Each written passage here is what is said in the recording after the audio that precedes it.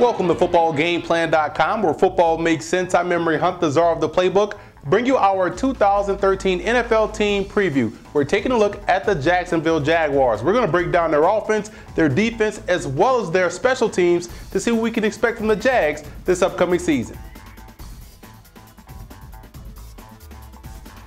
The quarterback position for the Jaguars is by far the biggest question mark heading into the 2013 season. It's essentially a two-man race between Blaine Gabbert and Chad Henne. In my honest opinion, both guys would be better considered as solid backup options the fact that no quarterback was selected in the draft, especially since Geno Smith was still on the board in the second round, was even more telling. It's saying that this regime and organization believes in both players for at least this season. And there's some talent on this Jags offense, but in order for them to make some noise in this division, they're going to have to get some consistency from the quarterback position. Maybe for Gabbert, you cater to his skill set and implement a lot of what he did at Missouri, while Henne will do a fine job operating off play action. At any rate, this is a major concern for the Jags moving forward.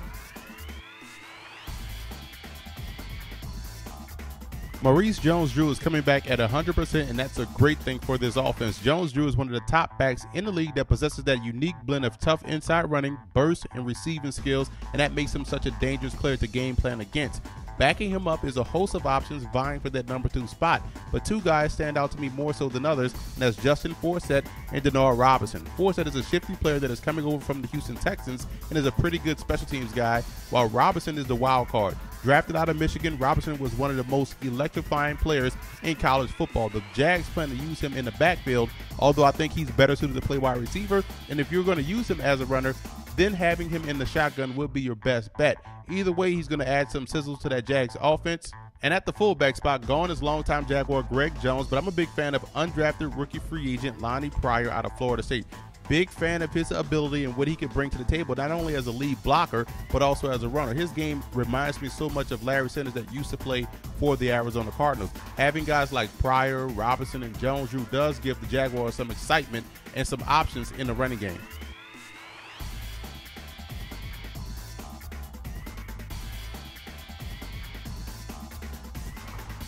Last year's first round pick, Justin Blackmon, started to come along fine toward the end of the season and was building momentum heading into this year as a player primed for a breakout year until he suffered a setback in the offseason, getting suspended for the first four games of the season. And Blackmon is a guy that is excellent after the catch, and they're going to miss him. But once he gets back on the field, there's no doubt he'll pick up right where he left off at the end of last season. But in the interim, the Jags have to adjust. Cecil Shorts had an outstanding year last season, catching 55 passes for over 900 yards at a healthy 17.8 yards a catch. He'll start the season as the number one guy. Opposite of him will be two veteran guys in Mohamed Massaquoi, who came over in free agency, and Jordan Shipley. You can also see the Jags go with two younger players in Denard Robinson, who can also play wide out, and Ace Sanders, who was drafted in the fourth round out of South Carolina, and he's better suited to play in the slot. And with his quickness and agility, he'll do a lot of damage underneath. I also like Taylor Price, whom they signed as a free agent. Price was an accomplished receiver coming out of Ohio, but never really got an opportunity with the Patriots as he battled injuries. He could be a sleeper option, in my opinion. At the tight end position, there's Marcedes Lewis, who's one of the better tight ends in the league and already a pretty good run blocker. Lewis just needs more opportunities in the passing game, and he may get that look since Blackmon is out for the first quarter of the season. And there's a lack of depth behind Lewis, but keep an eye on undrafted rookie free agent Ryan Otten out of San Jose State, one of my favorite prospects in college football. He's also a pretty good blocker with the athleticism to open it up in the passing game. I think he'll make the roster and be that number two tight end H-back type of player for this offense. I think the offensive line will be vastly improved this season as they're getting guys back at 100%, especially on the interior. Guards Will Rackley and Uche Nwaneri both battled injuries last year, with Rackley missing the entire season. He's a pretty good guard, and his return means a lot to this offense. Center Brad Meester is entering his 14th season as the man in the middle and is a very productive player. I also like the depth behind them with last year's undrafted rookie free agent Mike Brewster out of Ohio State, who looks to be the heir apparent after being considered one of the best centers in college football. Out on the edges, you have Eugene Monroe, who's a solid player in his own right. He'll hold down the left tackle spot and did a fine job of that last season. In 2013 first round pick Luke Joeckel out of Texas A&M will start at the right tackle spot Joeckel was arguably one of the premier players in college football last season, regardless of position. There's also some quality depth with players like Austin Pasztor, who was drafted by the Edmonton Eskimos in the CFL, and Jason Spitz, who's returning from injury. Whomever is back there at quarterback will have the benefit of playing behind what I think is a very good offensive front.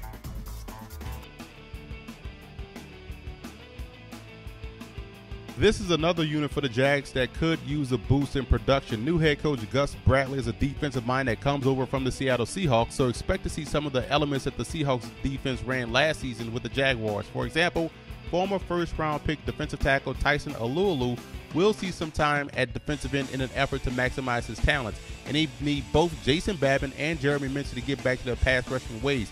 Both guys are capable. It's all about effort and want to. The wild card in the mix is last year's second round pick, Andre Branch out of Clemson. Branch has the best athletic gifts out of any of the defensive linemen. It's just about him realizing and reaching that potential. On the inside, look for free agent signee Roy Miller coming from Tampa Bay and Sen'Derrick Marks to start at defensive tackle. Depth is a concern on the interior, which is why you'll see Alualu go back and forth from D end to D tackle. And if 2010 third round pick D'Anthony Smith can stay healthy, he has a chance to be a factor and see significant minutes. The most important statistic that must improve this year for the Jags in order to have this defense be a lot better is the 141 rushing yards that was given up last season per game. That ranked 30th in the league. That can't happen in 2013. A thin linebacking core is led by middle linebacker Paul Posluszny, who was tops on the team in tackles with 139. Posluszny is one pretty good football player that continues to not get the notoriety despite making plays all over the football field. There's little to no depth behind him, and that leaves the door open for undrafted rookie free agent Mike Zimmer out of Illinois State to make the roster, which isn't a bad thing as Zimmer is in the mold of Posluszny as he was a highly productive player for the Redbirds. On the outside, the Jags signed Geno Hayes in free agency, and he's a guy that brings a lot of speed and athleticism to the position. And Russell Allen started his career as an undrafted free agent and now has become a starter because of his outstanding play. Last season, Allen finished second on the team in tackles with 131. Julian Stanford was also a pleasant surprise last year as he made the roster as an undrafted free agent and starting six games. He'll back up Allen, but will definitely see a lot more playing time this year. The youth movement is in full effect for the Jaguars in the secondary. Gone is longtime Jag Rashean Mathis, who was a very good player for Jacksonville throughout his career, and cornerback Derek Cox is also gone. The new starters look like it will be free agent signees Marcus Trufant and Alan Ball, both competing for one spot with rookie third round pick Dwayne Gratz out of UConn competing for the other.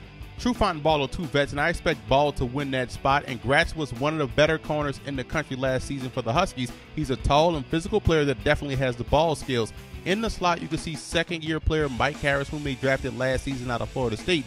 And it makes sense for the Jags to go young because Bradley can mold these guys into what he wants them to be. At the safety spot, they drafted Jonathan Cyprien out of Florida International to start at the strong safety position, and he's a guy that shows pretty good range, so he'll be able to match up versus tight ends in a passing game. Free safety Dwight Lowery was the starter last year, and I've always been a fan of his game because he's a guy that started his career as a corner and was solid there, then moved to safety where he now gives you flexibility in your defense to be able to match up man to man versus wide receivers. So you can see why Bradley wanted to keep him on this roster. The Jags drafted Josh Evans out of Florida, who's also in the same mold as Lowery, a safety that has the ability to cover, and Evans was considered by most to be a sleeper. And they still have Chris Prosinski on the back end providing depth. Jags are also pretty solid in the special teams department with two kickers. Josh Scobee, an outstanding kicker, 10 year vet out of Louisiana Tech, and he's one of the league's best kickers last year, went 25 or 28 on his field goal attempts. And a lot of people mocked the pick last season when he took Bryan Anger in the third round, the punter out of Cal. But he is already one of the better punters in the league and was a big part to their defensive success as far as pinning teams deep on the back end. And when we look at the return game, there's a host of guys that can help in that position. You have Justin Forsett, you also have Denard Robinson. So I think the Jags will find in the return game there's options for these guys to be successful. Let's take a look at what the Jaguars have on the roster versatility and depth in the backfield. I'm a big fan of Jones Drew. I think he's one of the better running backs in the league. They also have Forsett and what they do with Denard Robinson. And two, an excellent kicking game, both as a place kicker and field goals, as well as in the punt department. And they have an underrated offensive line. I think they're going to be a lot better this season now that they've added Joko and guys are back 100%. Now, on the flip side, let's take a look at what the Jaguars lack. Number one, competent quarterback play that can hinder this team from getting to where they want to be. Number two, a consistent pass rush. A lot of times you'll see sometimes in a game or maybe on a series they can get after the quarterback, then they disappear. They have to be consistent and depth at the wide receiver and linebacker positions. Reason for optimism for the Jaguars number one, you have a new head coach who's a defensive minded guy, which means the running game is going to be a focal point. That's why they had to build on the offensive line so he could keep that game close. And the defense will get better this year because of Gus Bradley. The cause for concern would be the limited passing attack of the Jaguars. And that's a combination of the lack of depth at the wide receiver position and also not addressing the quarterback position in the draft. That could come back to haunt these guys this season.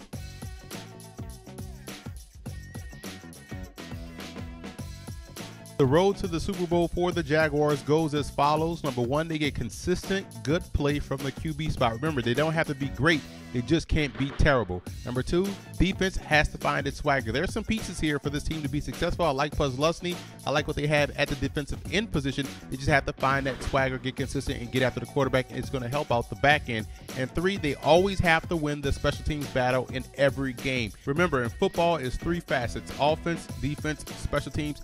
If you're able to win two out of the three, you're setting yourself up for a pretty good season.